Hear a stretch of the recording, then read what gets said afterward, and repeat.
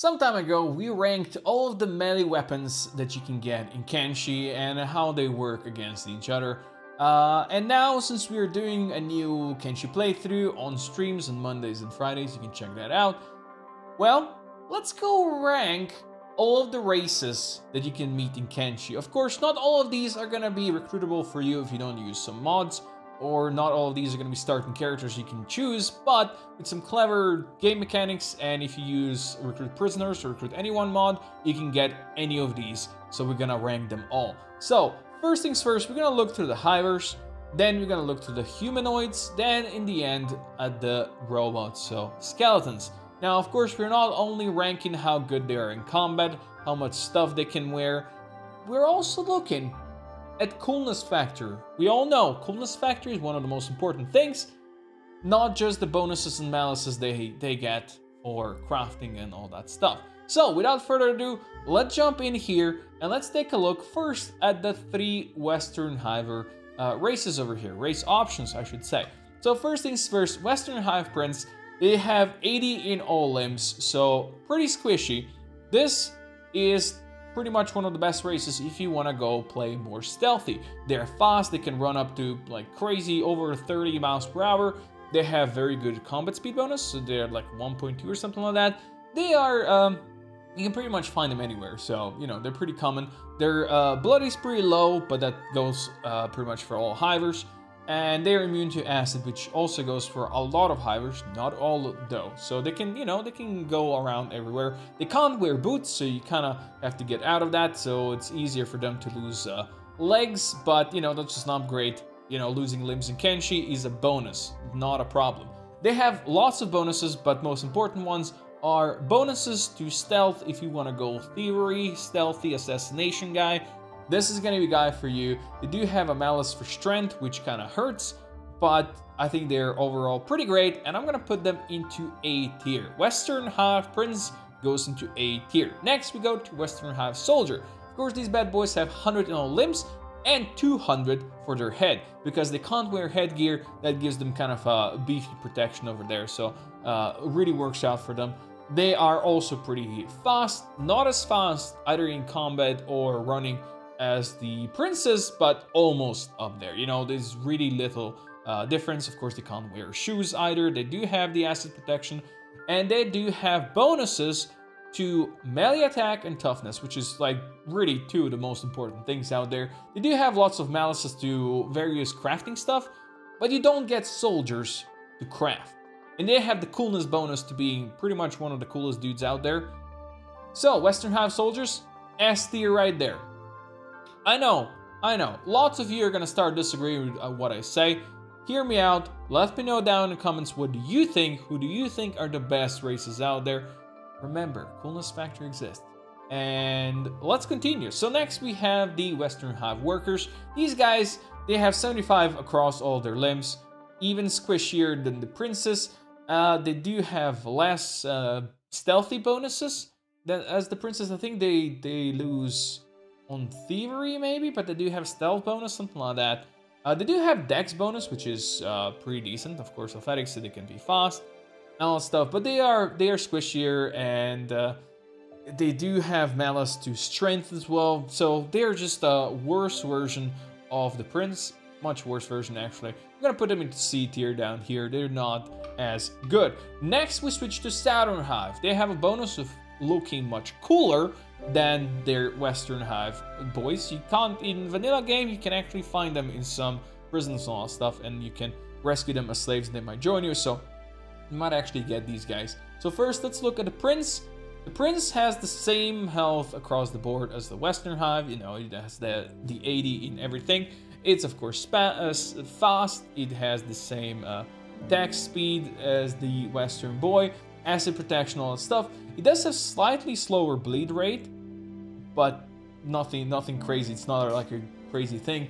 It also loses a bunch of bonuses for uh, various things uh, compared to its Western Hive brother, especially loses the one for toughness. So this one, not as good, not even for stealthy options. We're gonna put it into B here.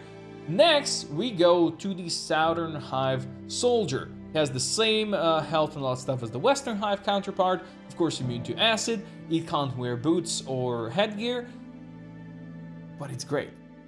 You know why it's great? It kind of loses the perception malice. So if you want to, you can even kind of switch them to, to even ranged. But basically has less issues, slightly less issues than Western Boy. So it's just slightly better version of the Western Hive counterpart. And we all know we love soldier drones because they're just the best. And there you go, they're the best. S tier, top of the line, let's go. Next, we're gonna go to a worker drone of the Southern Hive. Basically, kind of same across the board as it's uh, a Western Hive brother.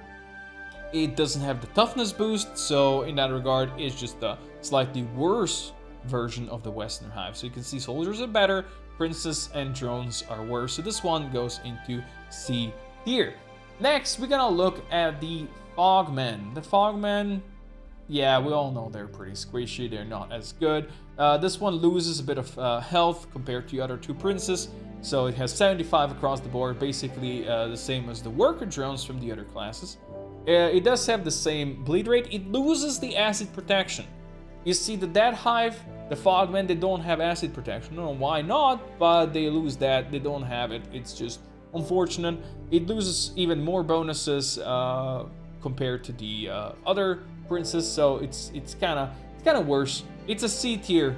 It's a C tier boy. I'll put it above the worker drones because we all know, you know, the the worker drones are below the princes, but it's still a C tier pick. Next on the list we have the Fogman Soldier. Uh, this bad boy has 100 across the board, so it doesn't have the bonus to its head like the two other boys, so we can't put it into S tier. It's still a decent one. It actually has the slower bleed rate than the Western boys. So it has that bonus, but it doesn't have any acid protection if you go roaming around where you want to. It does have a bonus to melee and strength.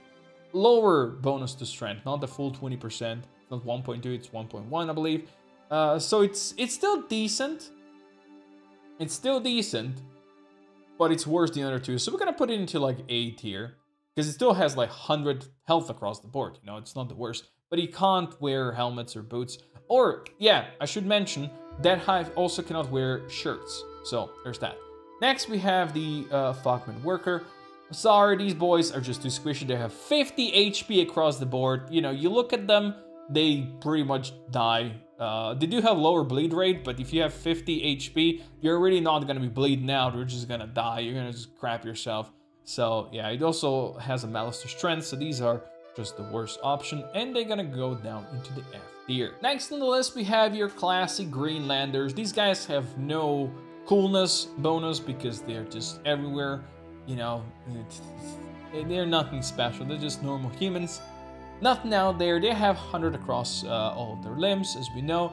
They, of course, can wear all five pieces of clothing, so I guess that's a bonus for them. They do have much, much higher bleed rate than any of Hivers, but they also have more blood in general. Like, it varies, so it doesn't necessarily, they don't necessarily have that, that much more blood, so they're pretty squishy in that regard. Of course, there's slower run speed, slower combat speed, nothing special about them. They only have like bonuses to cooking and science, I think. Yeah, and farming, of course. So really, these guys are nothing special. I would put them above the worker drones, of course, and the the Dead Hive Prince, but they are like a C tier dudes. Nothing special about uh, these boys. Next on the list, we have the Scorchlanders. Scorchlanders are basically a cooler version of Greenlanders all across the board. They have the coolness factor, same limb strength, uh, same amount of blood than the Greenlanders. They do have a slightly lower bleed rate and slightly faster heal rate. So in both of these regards, they are better than Greenlanders.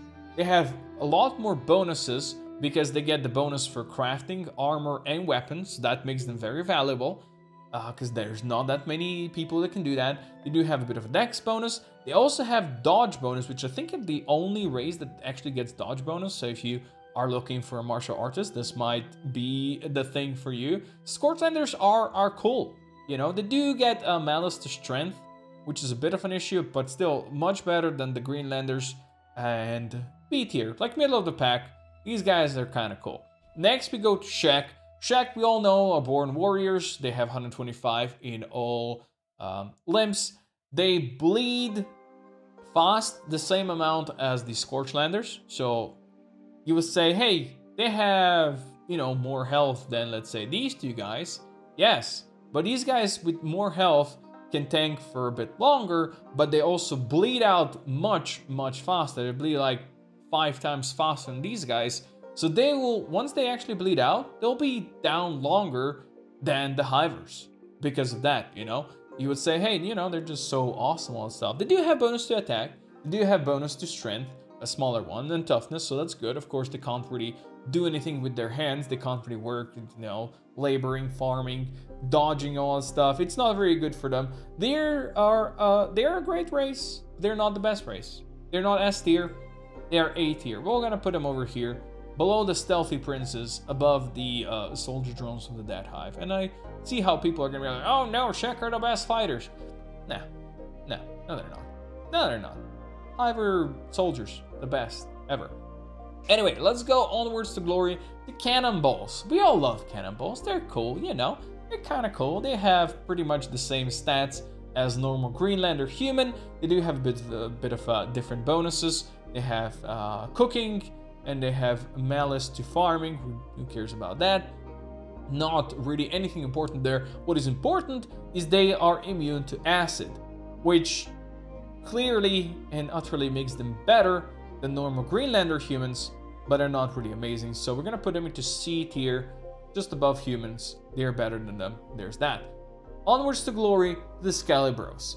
First, we have just a normal skeleton that we all know and love. You know, your normal recruit. They have 200 uh, limp, strength, all of all across the board. Of course, we all know they can't wear boots, they can't wear shirts, they can't wear helmets, which is a problem. You know, there's been always this uh, fight who is better, Shek or skeletons in combat. Now we all know it's the actual Hivers, because, you know, that's, that's how it works.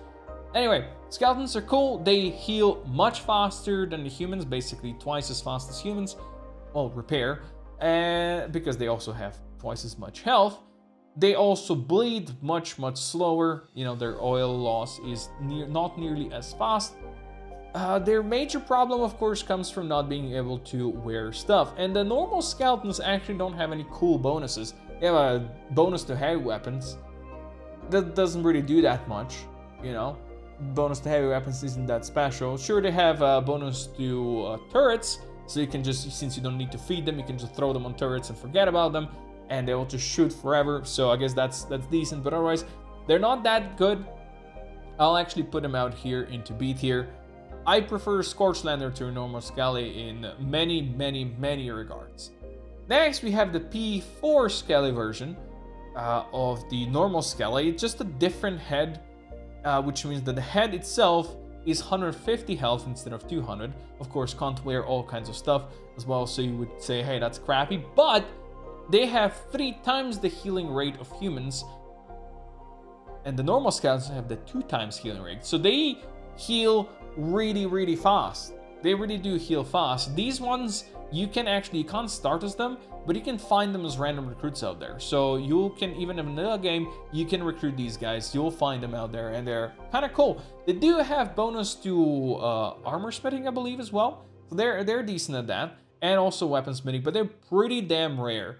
Uh, I would still say they're better than normal skeletons because of especially those crafting things and the fast healing rate. So they're slightly better, all things uh, regarded. So onwards to glory, we go to logheads or soldier bots.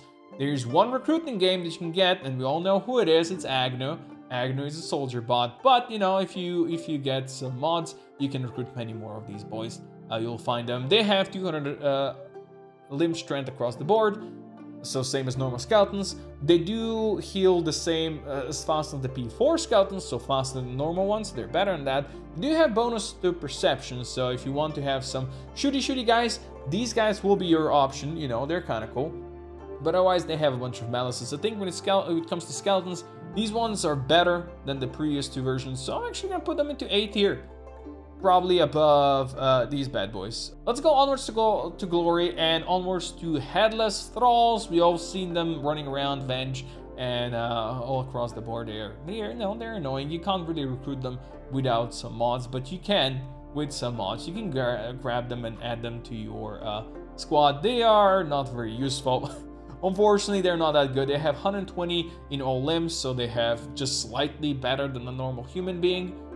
They do have a good healing rate, and they do have a higher bleed rate than the other skeletons, so that makes them, again, kind of worse than the other skeletons for sure.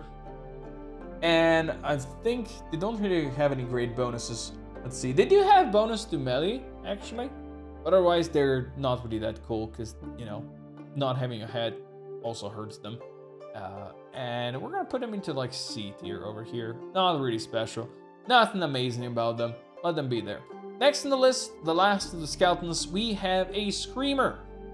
Uh, you also, you'll see some of these skeletons in the game, but you can't really recruit them without any mods. Screamers have 200 across all limbs. They have bon bonus to healing the same as the Logheads and the P4s. They're fast in that. They do have bonus to assassination, which I totally forgot about that because you don't get to use them that often. So you can have an assassin, this guy. I think it's the only person or the only race that has bonus to assassination. So you have that going for them. They do have bonus to melee as well, which is great. But they don't really get to the uh, S tier. I will put them out here into the A tier. You know, Lockheads get the coolness bonus of it being Agnew. So they're better than these bad boys. So there you go. They go in A. Last, but not the least, we have the Fishymon.